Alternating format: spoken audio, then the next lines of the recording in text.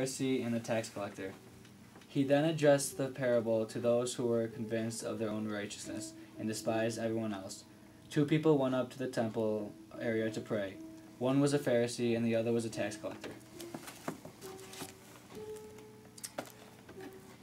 The Pharisee took up his position and spoke this prayer to himself O God, I thank you that I am not like the rest of humanity, greedy, dishonest, adulterous, or even like this tax collector. I fast twice a week and I pay tithes on my own on my whole income. 13. But the tax collector stood off in the distance and would not even raise his eyes to heaven, but beat his breast and prayed, O God, be merciful to me, sinner.